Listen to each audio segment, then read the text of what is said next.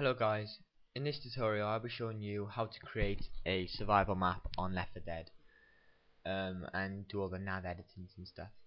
So first things first, open up your hammer. Now I have preloaded my map and created a few objects which I will show you how to do.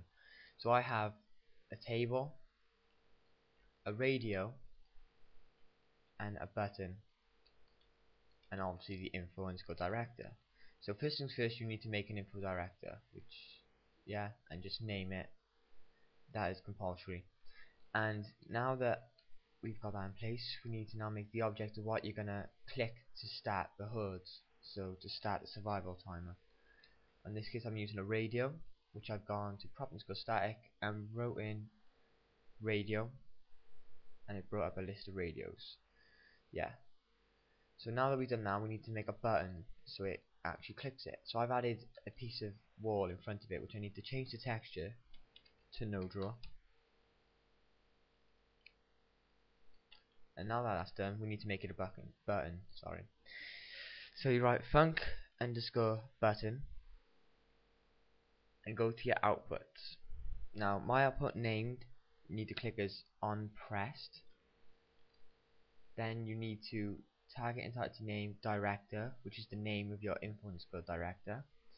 Via this input needs to be panic event, and you need to make sure that the fire once only is ticked, and click apply. Now that is all you need to do out on the map making part of the map. The nav editing is pretty much the rest. So I'm going to compile a map now and edit it.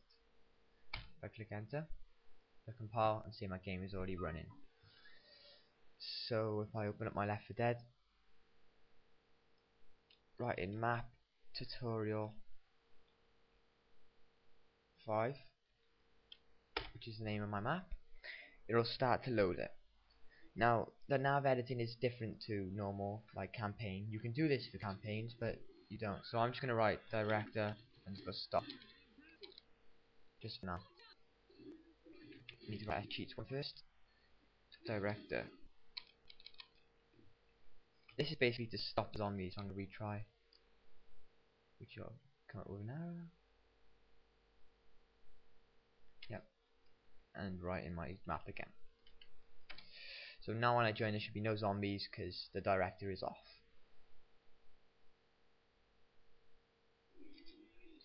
There's just one random hunter. Don't ask why, but there is. Okay, so we have our radio in place, our table, and if I click this, it should say here they come, so it does. So we know that the button's working, so now we need to do the nav editing. So you would do what you would regularly do with the nav. You write SV cheats 1 nav underscore edit 1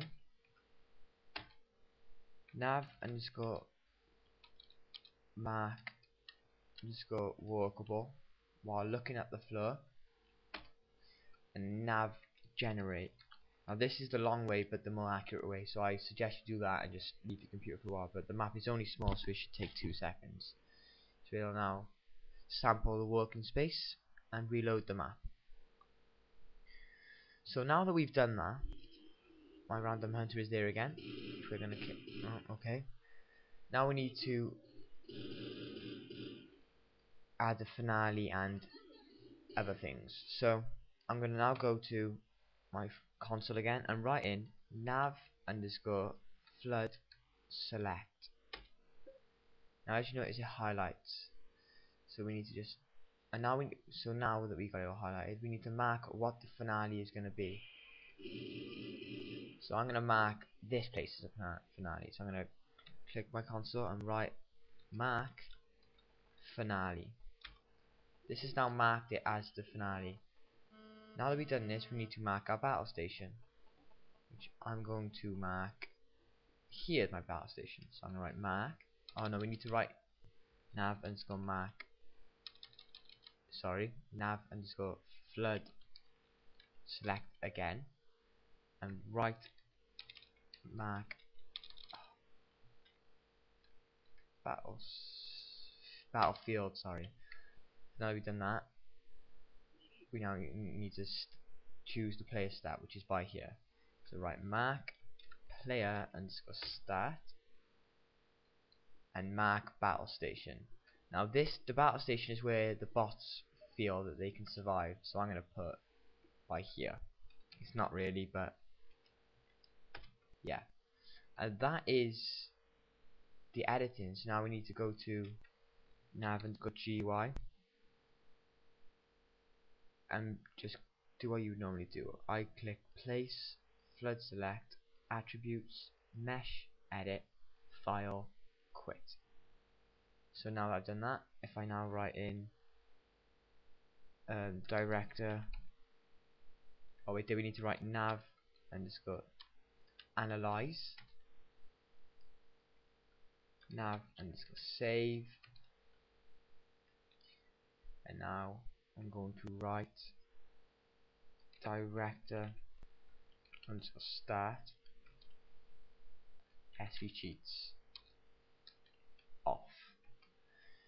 So now I'm going to leave this game and I'm going to change the game mode. So write MP underscore game mode survival. As you saw it was on co-op before, but now we've got it on survival. I'm going to write my map in again and it should be a survival map. Although it's not really a survival map it's pretty pathetic. So as you can see there is just that one odd hunter which I really don't know why he's here. So there's no zombies which is a good sign because it means the, the survival's working apart from the odd hunter. Don't ask why. So if I click this our horde should begin. So far so good and there we go. It's working so guys good luck with your mapping. I hope this really worked for you and helped you with your mapping. Good luck and have fun